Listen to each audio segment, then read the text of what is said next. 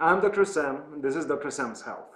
I haven't made a video in the past two, three weeks. I was really busy. I've been away for a couple of weeks for some uh, research and work-related stuff, and also I have lots of on-call shifts, so I'm really, really busy these days. Uh, but no matter what, show must go on. So today I'm going to talk about something special. In one of my previous videos, I've been talking about metabolism. We described the metabolism as a whole, what is happening uh, in our bodies, how we get our energy, how we uh, store it, how we use it. I think that before we get into any kind of serious conversation about diets, about uh, nutrition, about uh, the implications of nutrition and diet to uh, our weight loss or workout routines, we should get over at least the most important things such as macronutrients. So, so with today's video, I'm going to start a little series of videos on uh, macronutrients, which will include carbohydrates, lipids or fat, proteins, and uh, maybe I'll make a couple of videos, separate videos on uh, alcohol and uh, cholesterol. So today we're going to talk about carbohydrates. What are these? Why do we need them? Where can we find them? What our bodies are doing to them? What are our bodies' responses to them? And how can we use carbohydrates uh, for our own good? And how we can incorporate them in our nutrition and uh, our workout routines, so body transformation stuff. So what are carbohydrates? This is a very simple question, and there is a very simple answer to this. And if we were having like a scientific discussion, I would be happy to provide you with this simple answer. But it is too scientific and it's very unpractical. So instead, I will give you my own definition of what carbohydrates are, and I find it to be the most appropriate for this uh, video. So carbohydrates are simple sugars or their combinations. I, th I think it's the simplest it can get. So I will do my best to go over the carbohydrates and I will proceed from the simplest ones to more complex ones. And in the process I will discuss, I'll go over like what is important about them, why in general I'm talking about them. So the simplest carbohydrates uh, are something that we call simple sugars. They are divided into two subcategories, monosaccharides and uh, disaccharides. These are scientific terms and I will try do my best to use as few of them as possible, but sometimes we just cannot get by without using them. So monosaccharides are molecules that have literally just, just one molecule. They are the simplest sugars possible. These are glucose, infamous, uh, galactose, ribose, uh, fructose. Uh, there are quite a few of them, and there are different variations of them, but what we really have to know uh, are the following three. I would name glucose, galactose, and fructose. Glucose is the most obvious and the most important one just because the sugar levels in our bodies are determined by the levels of glucose. And glucose is the most ubiquitous and uh, the most common uh, monosaccharide or simple sugar that our bodies use. And it's uh, the base molecule for, for the majority, if not all, of the complex sugars or complex uh, carbohydrates. So uh, we've got these three, glucose, we already spoke about it. Uh, we've got galactose, which is part of the part of milk, and that's why it's called galactose, and fructose, which is structurally very different from glucose, but it's still a sugar, and it's very common, commonly found in, in fruit, and that's why we call it fructose, right? Also, one important remark, uh, every time I read about sugars, uh, I, I see some pictures, some pictures of uh, simple, simple sugars, disaccharides, uh, monosaccharides, and uh, I always have this tendency to post them somehow, but for this video I just realized that there is literally no point for any, any of you to actually see the actual formula, but if you want to see an actual formula, how, how the molecule looks like, uh, please go to my blog, uh, I'll be posting it there. So having said that, we can move to, to the second part of uh, simple sugars, which are disaccharides. Most of our uh, sugars in nature, they do not exist in the form of monosaccharides, they usually are combined together. So if we combine two glucoses, we, we can get a, a maltose or isomaltose, which are two forms of the same molecule that they are connected differently. Uh, the bottom line is maltose is two molecules of glucose. It's not that interesting because we've got other disaccharides that are more interesting. One of them is sucrose, which is a combination of, uh, of glucose and fructose. And this is something that has a scientific name, sucrose, but actually we know it under the name of table sugar. So every time you put some sugar into your uh, into a tea or into any food you're, you're, you're cooking, uh, you're putting sucrose there. And we've got a special enzyme called sucrase that digests it, it into uh, glucose and fructose. Another fun fact about sucrose is that scientists have come up with a very funny way of tricking our brain into believing that we're taking in some sugar, whereas we aren't. Uh, so what they have done, they have added some molecules of chlorine, chlorinated uh, uh, the molecule of um, sucrose, uh, to, uh, to create something that we know under the name of Splenda. It is a sweetener that when we consume, uh, it tastes like sugar because effectively it is sugar with some chlorine molecules added to it. But uh, when it goes through our digestive system, our body simply cannot uh, cleave it apart into glucose and fructose, so it passes through uh, pretty much unaffected and doesn't affect our metabolism at all. Another important disaccharide is lactose, which is uh, effectively the core component of milk. Uh, and our bodies are are able to process it until the age of two, and then um, some people, majority of people in different uh, races, ethnicities, uh, lose this ability, and they become lactose intolerant. They do not have enzyme, which is called lactase, that is necessary to process lactose. So if you are, say, 15, 20 year old uh, person without lactase, if you consume some milk, uh, lactose in milk cannot be digested and our gut bacteria start working on it by, and when it happens, they tend to produce a lot of gas, and that's why I've got this abdominal cramping, uh, flatulence, and so on. Now, when we have discussed the very basics of what carbohydrates are, I think it makes sense that we're ready to talk about what happens to carbohydrates when they get to our bodies, and what happens to our bodies when we ingest carbohydrates. So first of all, as soon as this food reaches our mouth, um, our body starts producing something that is called salivary amylase. Amylum means starch, so amylase is the enzyme that uh, starts digesting starch in our food, carbohydrates in general. And uh, unfortunately, this process stops very quickly when the food reaches our stomach because of the acidity and uh, uh the very aggressive contents of our stomach. Uh, the salivary amylase gets destroyed very quickly and this process of carbohydrates digestion restarts in duodenum, which is the first part of our gut after stomach. Uh, we've got pancreas, which produces pancreatic enzymes, specifically pancreatic, pancreatic uh, amylase, that restarts processing uh, starch in our, uh, in our food. Also, there are several other enzymes in our gut that uh, help digesting complex carbohydrates and and disaccharides into the very simple molecules, monosaccharides, which are then being absorbed into, into our bloodstream. And from our bloodstream, there are several things that are happening to them. First of all, there is a spike of glucose, and our body starts to produce hormone known insulin. So insulin, the main job of insulin is actually to make sure that uh, our, our, our tissues get enough glucose. So as soon as glucose levels spike, insulin makes sure that all this glucose has been redistributed across different tissues. And two tissues are very important in this case. Uh, there's a, a, skeletal muscle and liver. These two tissues have an ability to uh, take this glucose in and not only use it for their like metabolic purposes, but also it can they can store it in the form of glycogen. They can create glycogen molecules.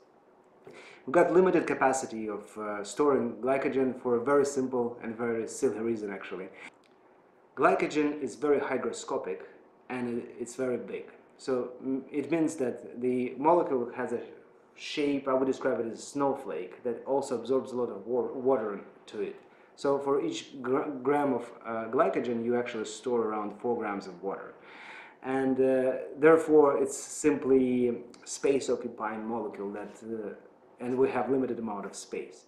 uh, which limits to our body capacity of storing glycogen to approximately one pound, like three to 500 grams. Another important aspect of carbohydrate metabolism is that uh, there are only two organs in our body that really rely that really rely heavily on uh, carbohydrates, specifically on glucose.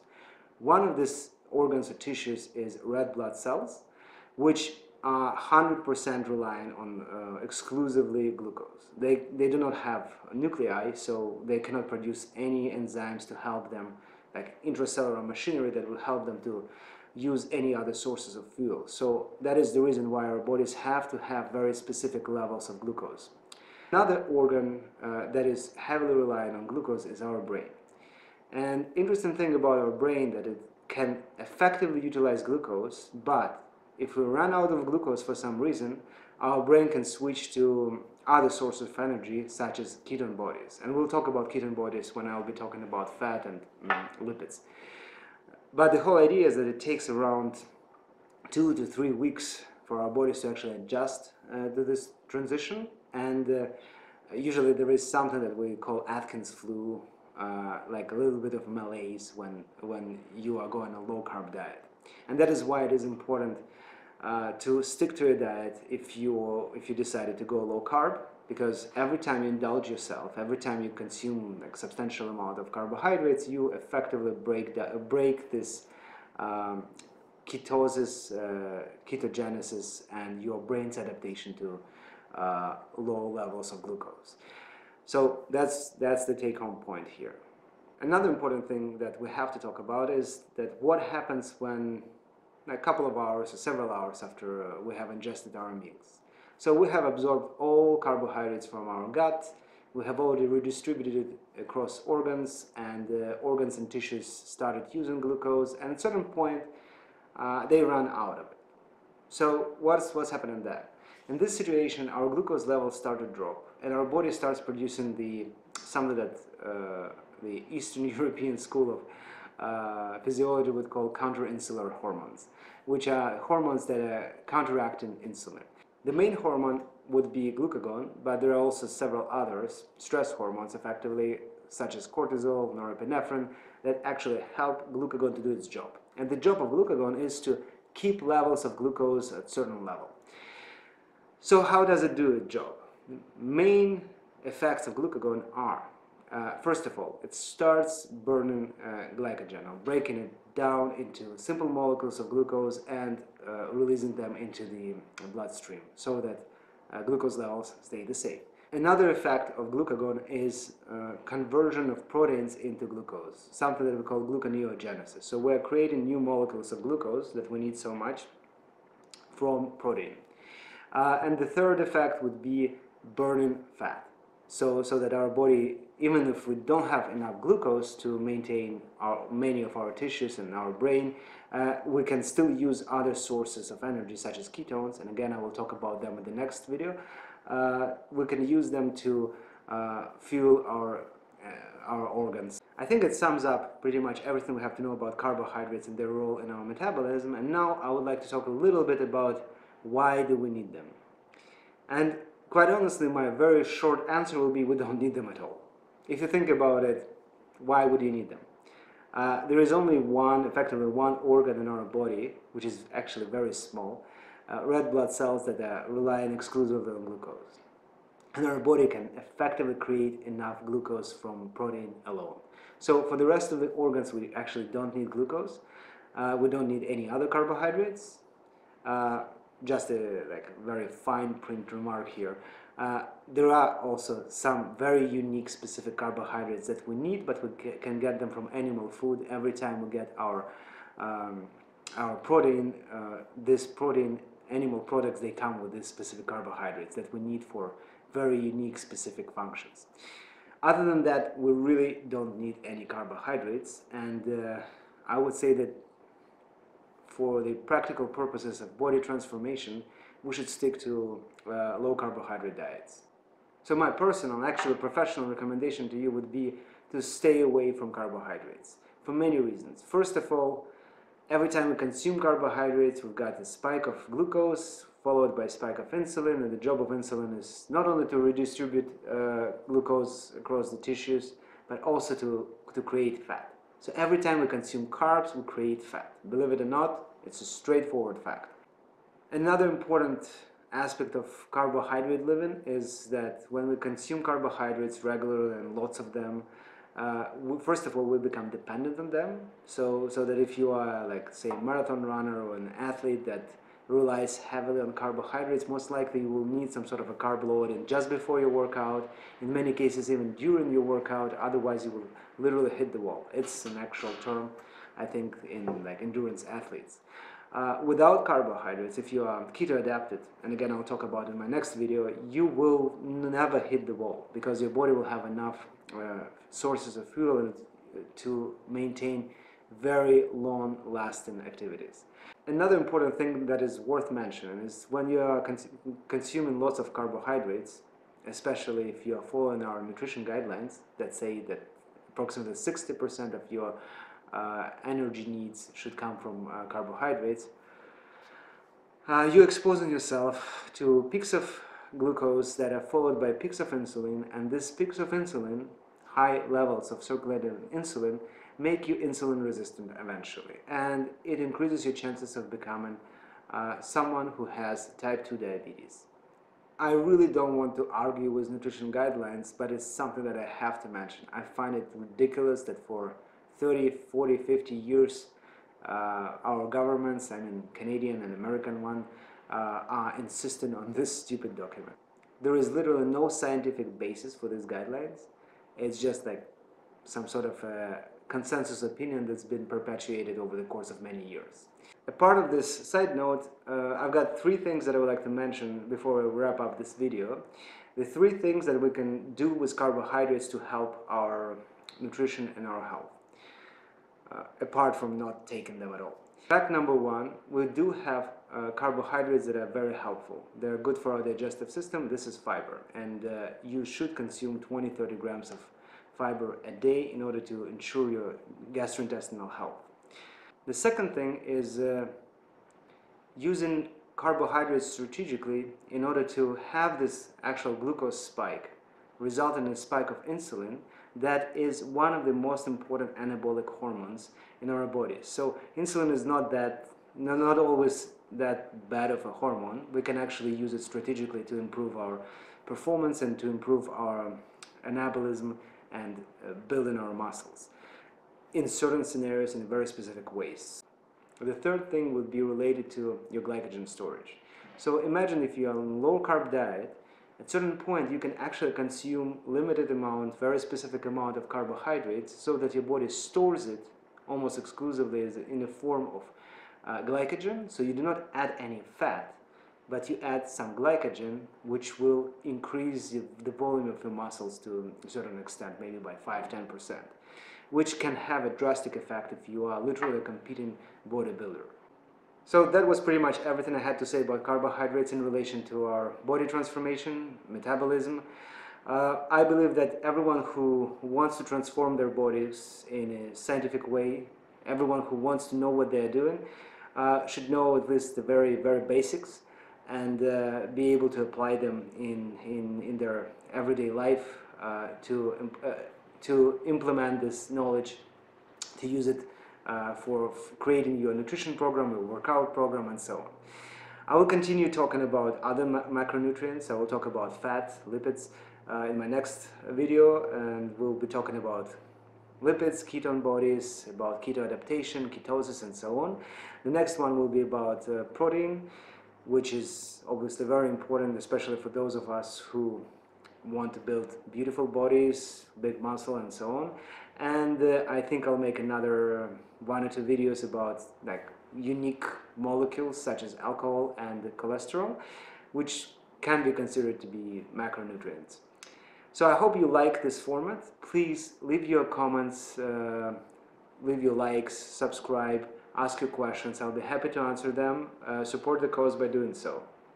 And I'll see you in my next video. All the best.